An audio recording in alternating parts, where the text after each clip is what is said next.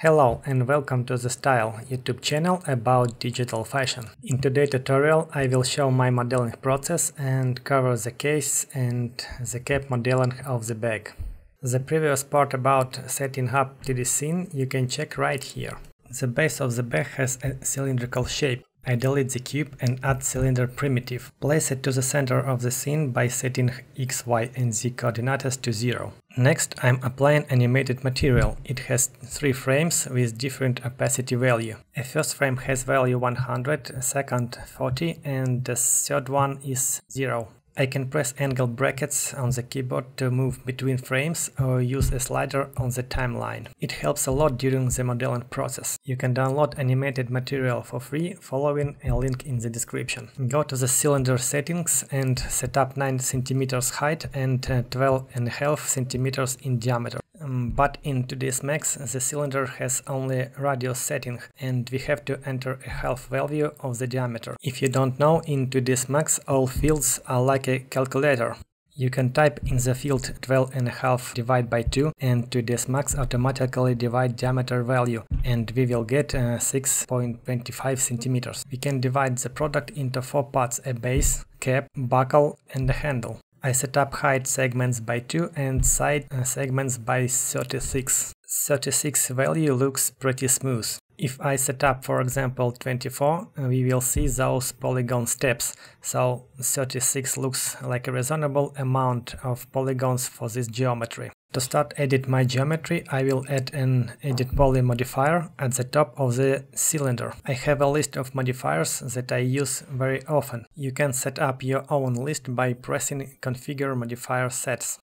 Select any modifier from a left list and drag to a right side. This set will speed up your work process as well. As an alternative way, you can always find the modifier in a pop-up list. By default, when you select any object, it has a white wireframe highlight. And uh, when your reference image has a white background, it's hard to work with a geometry that has the same uh, white color. Uh, you can open an image in Photoshop, uh, select background and change its color, or change opacity in 3ds Max. Open Material Editor, select material of the reference image and set up a lower value for the opacity. The same for the back reference. Now I can see better white wireframe on the light gray reference background. Now I can start working on the model. Press Edges or 2 on your keyboard. Double click on the edge to select a loop and move it up to match a cap height. I'll add Edit Poly modifier one more time, select a top polygon and press the Grow and Detach button. But I'll press Detach settings and rename it to the cap. Rename the cylinder object to a base. Press Alt Q or press this light bulb icon, it will bring you to the Isolate selection mode. You will see in the viewport only selected object. Select bottom polygon, click a right mouse button and select Insert settings. Add Insert and press the plus icon to repeat this operation. Next press Collapse. To add one more loop, select a central point and with holding Ctrl, press on the Edit Poly icon. It will select all polys connected to the selected point. Add insert one more time.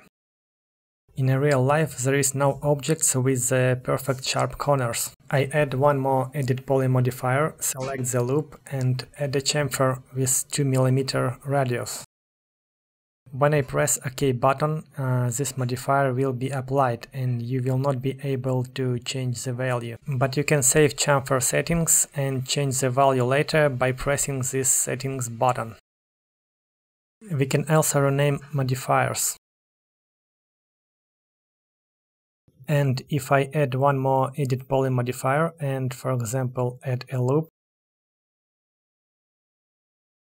I still can go down, press settings button and change the chamfer value.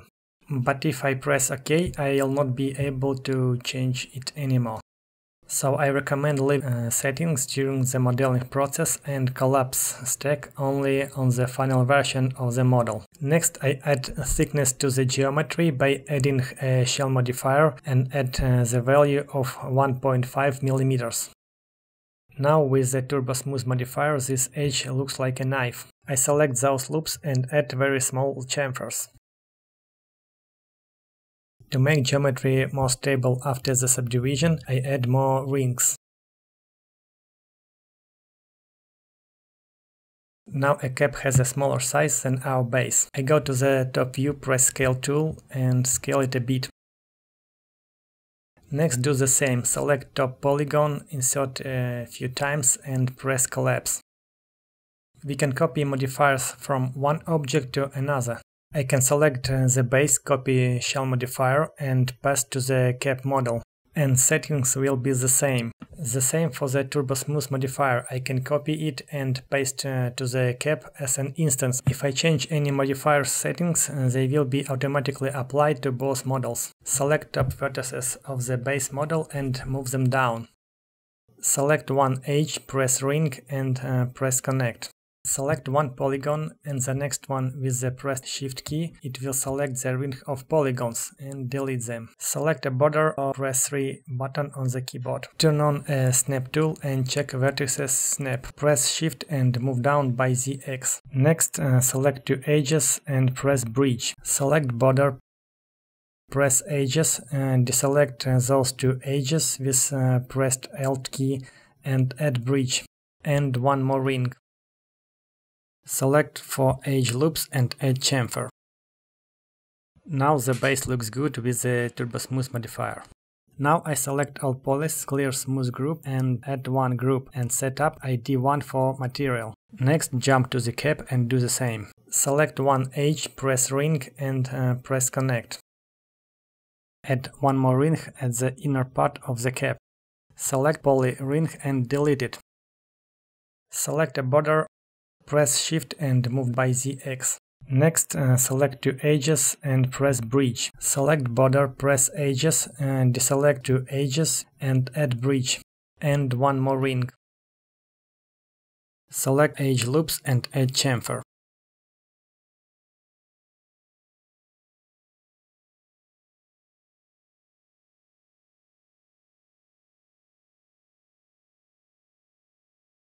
Select all polys, clear smooth group and add one group and set up ID1 for material. Now we have finished the base and the cap. Thank you for watching this video, please support uh, my channel by pressing like, subscribe if you still didn't and share the content. If you have any questions, just leave a comment, I'll be glad to answer them. See you in the next video, where I will cover buckle 3D modeling process.